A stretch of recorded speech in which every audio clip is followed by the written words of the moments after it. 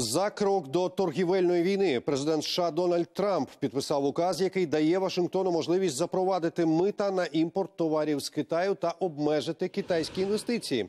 Тепер торговий представник Сполучених Штатів Роберт Лайтгайзер має протягом 15 днів підготувати список товарів із Піднебесної, на які це мито поширюється.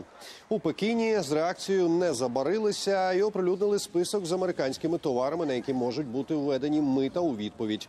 Нагадаю, на початку березня Трамп запровадив мито, зокрема на імпорт сталі та алюмінію. Це викликало хвилю обурення у низці країн, особливо в ЄС, Канаді та у Китаї.